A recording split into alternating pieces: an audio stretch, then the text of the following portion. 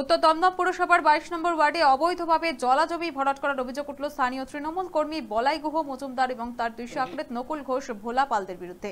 স্থানীয়রা আগে উত্তর দমদম পৌরসভার চেয়ারম্যান, বিধান বিশ্বাস এবং নিমতা থানায় অভিযোগ জানালেও কোনো কাজ হয়নি বলেই দাবি স্থানীয় বাসিন্দাদের। ঘটনার জেরে কার্যত বাধ্য হয়ে ব্যারাকপুর মহকুমা আদালতের দ্বারস্থ হয়েছেন স্থানীয়রা। আদালতের স্থগিতাদেশের পরও জারি রয়েছে জমি ভরাট এবং অবৈধ নির্মাণের কাজ।